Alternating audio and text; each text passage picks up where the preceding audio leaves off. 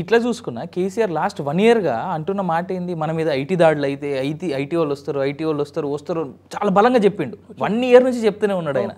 అంటే already BJP intimation ఇస్తా ఉండిందా? వీళ్ళకి మీ మీద కాదు. అంటే స్టెప్స్ ఎలా ఉంటాయి అనేది ఇప్పుడు మేమందరం కూడా చెప్పినాం. నాకేం తెలుసు?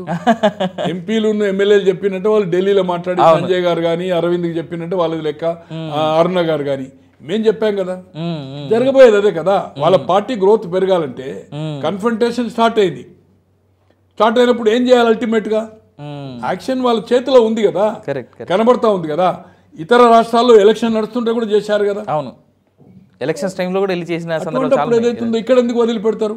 ఇంతకాలం అన్ని ఇష్యూలు ఆయన సపోర్ట్ చేశాడు. ఎప్పుడైతే మొన్న జిఆర్ స్వామిది ఫిబ్రవరి అది అయిన తర్వాత కన్ఫంటేషన్ స్టార్ట్ అయిపోయిందో? నిన్న చూసాం మనం. రైట్ కొత్తగా రాష్ట్రపతి గారు వచ్చారు పోయాడు రిసీవ్ చేసుకున్నాడు వేరే సంగతి. ఫస్ట్ టైం చాలా ఏళ్ళ తర్వాత పోనీ అది. రాష్ట్రపతి కదా ఖచ్చితంగా పోవాలి. రాజ్భవన్కి వెళ్ళలే. మ్మ్, అవును. ఇది పద్ధతి కాదు కదా. గవర్నర్స్కు చీఫ్ మినిస్టర్ కన్ఫంటేషన్ జరిగింది.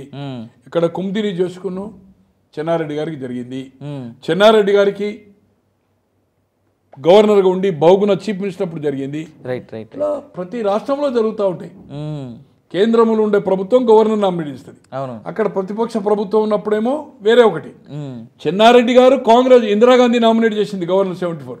బౌగున కాంగ్రెస్ చీఫ్ మినిస్టర్. కరెక్ట్. అయినా ఏదైతుందో కన్ఫంటేషన్ అయింది చివరకు బౌగున దిగిపోయే దిగిపోయే పరిస్థితి. మళ్ళీ ఆయన పంజాబ్ ట్రాన్స్ఫర్ అయింది అనుకోండి. చాలా ముప్పు తిప్పలు పెట్టాడు. నరసింహన్ గారే ఉన్నారు. ఇది కొత్త కాదు కదా? కిరణ్ కుమార్ రెడ్డి క్లాస్మేట్ రఘురామ్ రెడ్డి అనేది అవుతుందో. సురేందర్ రెడ్డి గారు ex MP right. Ex MLA దిగ్గజం అతని కొడుకును నామినేట్ పంపితే ఫైల్ వాపసు పంపాడు కదా.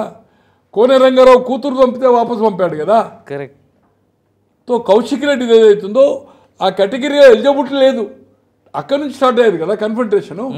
తర్వాత జిఆర్ స్వామి తోటి కంప్లీట్ బ్రేక్ అయిపోయింది. నేషనల్ లెవెల్ కూడా. బ్రేక్ అయింది సో నరసింహన్ గారు కూడా కాంగ్రెస్ నామినేట్ అయ్యి కూడా కాంగ్రెస్ ముఖ్యమంత్రులకు వచ్చేసాడు. రెండుసార్లు పంపాడు రెండుసార్లు బ్యాక్. అవును రఘుమార్ రెడ్డిది ఒక మన ఈమె కోనే రంగారావు గారు కూతురు కూడా చేయలేదు కదా ఇన్ఫర్మేషన్ కమిషన్ అనుకుంటా. చేయలేదు చేయలేదు.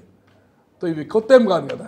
రైట్ రైట్ బట్ బట్ దీన్ని ఎందుకు ఇంత పెద్ద ఎత్తున మాడుతున్నారు సార్? ఇన్ఫ్యాక్ట్ గవర్నర్ మీద మినిస్టర్లు కూడా అందరూ మూకుమ్మడి దాడి. ఆవిడ ఇష్టం వచ్చినట్టు చేస్తుంది ఏది పడితే అది మాట్లాడుతుంది అనుకుంటా. అతని మెప్పు పొందడానికి ఒక మైలేజ్ మీడియాకు మైలేజ్. మేము ఆయన భక్తులము ఆయన ఏదంటే అది. ఇప్పుడు దేశానికి దేశకి నేత అన్నట్టుగా దేశానికి ప్రధాని కావాలి ప్రధాని కావాలి అన్నట్టు వాళ్ళకి తెలియదా? ఇంటికి వస్తే ప్రధాని ఎలా అవుతాడు? ఏ ఏ అవకాశం ఉంది?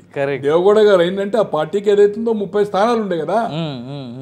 నీకున్నే పదహారు. ఒకటి తీసేయండి ఎంఐఎంది. పదహారులో నీకు వచ్చేది నాలుగైదే. నాలుగైదుకు నువ్వు ప్రధాని అయితే ఉంటే ఎట్లయితావు? ఎట్లయితావు? క్వశ్చన్ లేదు.